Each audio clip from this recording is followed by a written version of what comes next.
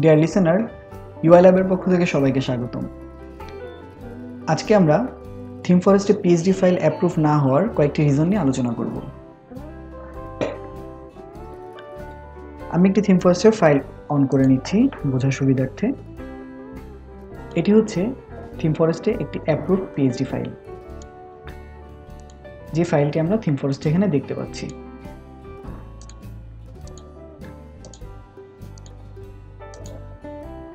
এই পিএইচডি নিয়ে আমি আজকে কথা বলব। থিম ফরেস্টে ফাইল পিএইচডি ফাইল অ্যাপ্রুভ না হওয়ার সবচেয়ে বড় একটি রিজন হচ্ছে অ্যালাইনমেন্ট আমরা অ্যালাইনমেন্টে যদি কোনো ধরনের ভুল করে ফেলি, তাহলে সেই ফাইলটা থিম ফরেস্টে অ্যাপ্রুভ নিবে না। আমরা দেখে আসি কি কি ধরনের অ্যালাইনমেন্টের ভুল আমাদের হতে পারে। প্রথম যে ভুলটা হতে পারে, সেটা হচ্ছে কন্ট্যাক্ট মি এই আইকনটা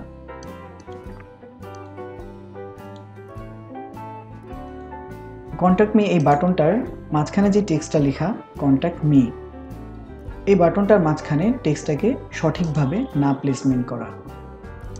ওকে দেখে নিই তাহলে এটার প্লেসমেন্টটা সঠিক আছে কিনা। আপনি একটু দেখতে পেরেছেন যে এটার প্লেসমেন্টটা সঠিক ছিল না। এটা আমি আপনাদের বোঝানোর জন্য এভাবে রেখে দিয়েছিলাম। এরপরে আরও যা যা রয়েছে, তার মধ্যে অন্যতম হচ্ছে,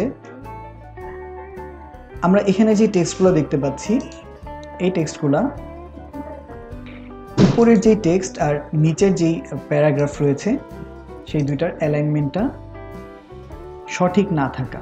দেখতে দেখতে পাচ্ছেন আমাদের এখানে অ্যালাইনমেন্টে একটু প্রবলেম রয়েছে। সো আমি আপনাদেরকে আগেই বলে নিচ্ছি, এই প্রবলেমগুলো হচ্ছে আপনাদেরকে দেখানোর জন্য আমি ছোট ছোট করে ক্রিয়েট করে রেখেছি। যখন থিম ফরেস্ট এই ফাইলটি দেওয়া হয়েছে, তখন এই ধরনের কোনো প্রবলেম থাকলে থিম ফরেস্ট সেই ফাইলটি নিবে না। ওকে এরপরে আমি আরও একটি বিষয় নিয়ে আলোচনা করব, সেটি হচ্ছে ইমেজ ইউজ আমরা যে ইমেজগুলো ইউজ করি, সেই ইমেজগুলো যদি রিলেটেড না হয়, তাহলে থিম ফরেস্ট সেই ফাইলটা অ্যাপ্রুভ নিবে না।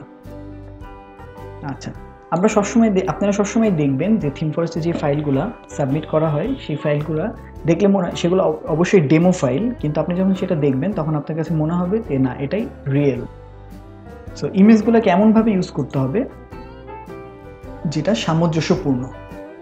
সাপোজ আমরা এমন একটা ইমেজ ইউজ করলাম, আমরা কর্পোরেট একটা ওয়েবসাইটের জন্য কখনো নার্সারি তারপরে এই ধরনের কোনো ইমেজ আমরা ইউজ করব না।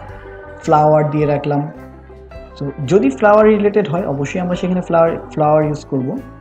তো এই বিষয়গুলো আমাদেরকে মাথায় রাখতে হবে। এরপর আমি যদি বলি ফন্ট ইউজ ফন্ট ইউজটা হচ্ছে খুবই গুরুত্বপূর্ণ একটা বিষয়।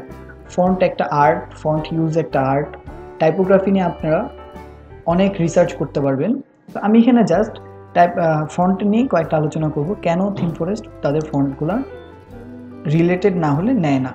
সো এখানে যে আমরা দেখতে পাচ্ছি, আমরা যদি ফন্টের সাইজ যদি সাপোজ এখানে আমাদের ফন্টের সাইজ রয়েছে ফর্টি আমরা যদি এখানে ফর্টি পয়েন্ট ফাইভ করে দিই, তাহলে ফোর পয়েন্ট ফাইভ ফর্টি করে দিচ্ছি। পয়েন্ট ফাইভ এভাবে রাখি, তাহলে থিম ফরেস্ট এই ফাইলটি অ্যাপ্রুভ নিবে না। সো থিম ফরেস্ট আমাদেরকে ফাইল অ্যাপ্রুভ করতে হলে অবশ্যই একটা সলিড একটা ফন্ট সাইজ রাখতে হবে। তাহলে ফন্ট সাইজটা সলিড কী সাইজ হবে? ফর্টি আশা করি আপনার এই বিষয়টি বুঝতে পেরেছেন। এরপর আমাদের যে অন্যতম একটা বিষয় রয়েছে, সেটি হচ্ছে গ্রুপিং গ্রুপিংটা খুবই ইম্পর্টেন্ট আপনি যদি গ্রুপিংটা না ভালোভাবে করতে পারেন, তাহলে অবশ্যই থিম ফরেস্টে সেই ফাইলটা সাবমিট নিবে না। আচ্ছা আমরা দেখে নিই একটু গ্রুপিংটা আসলে কীভাবে করব। আমাদের এখানে প্রত্যেকটা সাপোজ আমরা যদি হেডারে আসি হেডারে দেখতে পাবো, এখানে যে হেডার নামে যে ফোল্ডারটা রয়েছে, এই ফোল্ডারটার আই অফ করলে আমাদের পুরো হেডারটা অফ হয়ে যাচ্ছে। এবার হেডারের ভেতরে আমরা যদি প্রত্যেকটা আইকে অফ করি, তাহলে আমরা একটু চেক করতে পারব। সাপোজ ফার্স্টে মেনু মেনুর আইটা অফ করলাম। দেখেন আপনার মেনুর টোটালটা অফ হয়ে যাচ্ছে। এরপর ডেসক্রিপশন রয়েছে এখানে, ছোট্ট একটা। এটাকে ডিসক্রিপশন মিন করা হয়েছে। যখন আমি এটা অফ করে দিচ্ছি, তখন দেখেন এই টেক্সটগুলো সব অফ হয়ে যাচ্ছে। এরপরে যখন অ্যারোটা অফ করছি অ্যারো অফ হয়ে যাচ্ছে। সোশ্যাল মিডিয়ার কিছু আইকন রয়েছে এখানে। এই সোশ্যাল মিডিয়ার আইকনগুলো আমি অফ করলে এটা অফ হয়ে যাচ্ছে। টোটালটা ওভারঅল যে ইমেজটা রয়েছে এখানে, সবচেয়ে ব্যানারের সবচেয়ে বড় যে ইমেজটা রয়েছে সেটা যদি আমি অফ করি তাহলে এখানে এটা অফ হয়ে যাচ্ছে। তো আমাদের এই প্রত্যেকটা বিষয়কে খুবই গুরুত্ব দিয়ে খেয়াল করতে হবে। যদি আমরা এখানে কোনো ছোট ছোট মিস্টেক করে ফেলাই থিম ফরেস্ট আমাদের সেই ফাইলগুলো অ্যাপ্রুভ নিবে না। সো সবাই এই ভুলগুলা রিকভার করে ফেলবেন। আর ইউআই ল্যাবের সাথেই থাকবেন। আমরা এর পরবর্তী টিউটোরিয়ালে আপনাদের জন্য আরও ভালো একটি বিষয় নিয়ে আলোচনা করব। সেই পর্যন্ত সবাই সুস্থ থাকবেন। আল্লাহ হাফিজ।